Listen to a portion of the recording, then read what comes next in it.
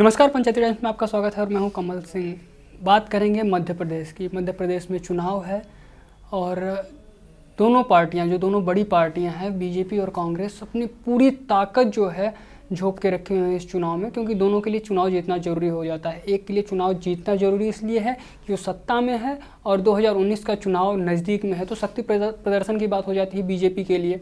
वहीं कांग्रेस के लिए वनवास खत्म करने की बात होगी मध्य प्रदेश में सत्ता में वापस आना, क्योंकि काफ़ी समय से मध्य प्रदेश की सत्ता से बाहर है कांग्रेस। दोनों पार्टियाँ एक दूसरे के ऊपर आरोप प्रत्यारोप जो है वो कर रही हैं चुनावी माहौल में आम होता है।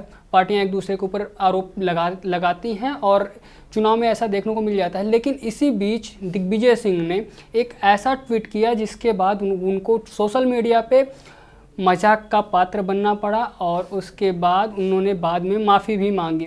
जी हाँ दरअसल दिग्विजय सिंह ने एक ट्वीट किया एक पुल का और कहा उसमें, अपने ट्वीट में लिखा, दिग्विजय सिंह ने, यह सुभाष नगर रेलवे फाटक भोपाल पर बन रहा है। रेलवे ओवरब्रिज पर एक पोल जिस पर आ रही है दरार स्लैश क्रैक, इसकी गुणवत्ता पर सवाल उठाती है। अभी तो पुल बना भी नहीं। एक भाजपा नेता के मार्गदर्शन में निर्माण कार्य हो रहा है। फिर यह सब क्यों और कैसे? वाराणसी की दुर्घटना यहाँ भी ना हो जाए।